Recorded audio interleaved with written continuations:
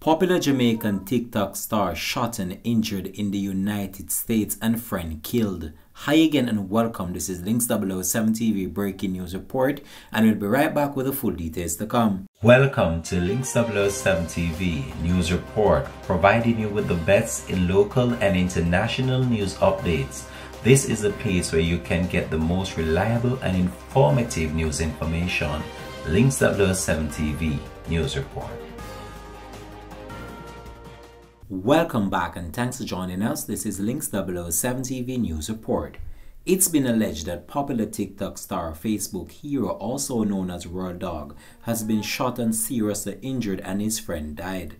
This report is coming outside of the United States. According to a police report at around 3.30 a.m. on Tuesday morning, police received reports of a shooting incident at the 6200 block in Miramar Parkway. The caller advised the police that they heard around 5 to 6 shots being fired, but nothing was seen.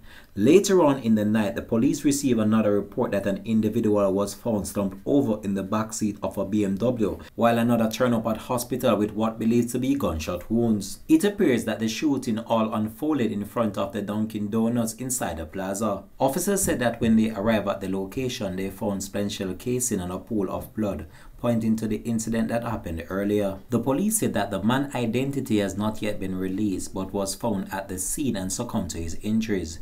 He was found in the back seat of a black BMW with multiple gunshot wounds. We now join our international media counterparts for more on the incident. And Eric, this is the borderline of Miramar and West Park where we did just learn this is all for a shooting investigation that sadly did turn deadly. We know at least one person has died. This is according to Miramar Police. Taking a look at the scene, this is Southwest 23rd Street and State Road 7 here. This is the southbound lanes that do remain blocked off. You can see BMW right now with its cars open and even several detectives and officers just gathering at this time as part of their investigation.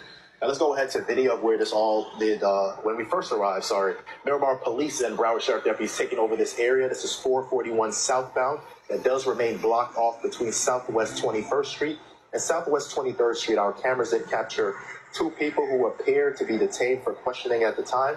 A very active scene out here, but this did all start along the 6200 block of Miramar Parkway.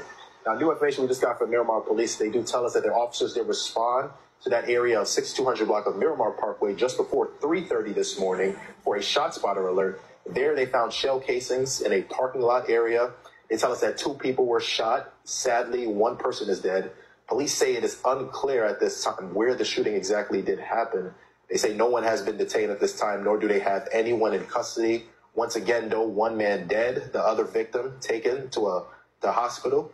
Uh, at this time, coming back out here live to the scene, still remains a very active presence here. 441 southbound still blocked off between Southwest 23rd Street and Southwest 21st Street. We're going to be out here trying to just gather more information, but if you do take this portion of this road, it certainly is blocked off. You want, want to look for alternate routes. Once we do learn any more information, we'll be sure to let you know. This has been Links 007 TV News Report, and we'll continue to track this story and have more details to come on this in a later newscast.